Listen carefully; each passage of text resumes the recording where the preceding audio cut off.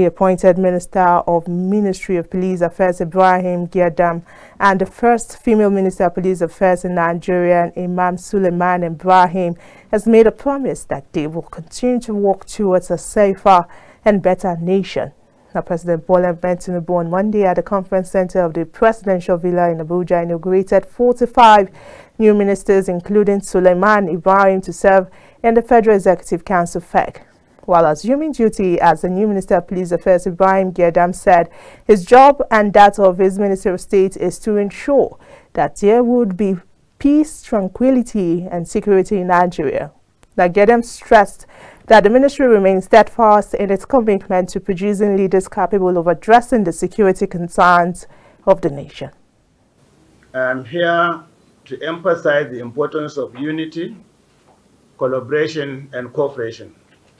Our nation faces numerous challenges in maintaining law and order, safeguarding the rights of our citizens, and upholding justice. To overcome these challenges, we must work hand in hand, drawing upon our collective expertise and experience. Each one of you brings unique skills and perspectives to this ministry, and it is through our collective efforts that we can effect positive change.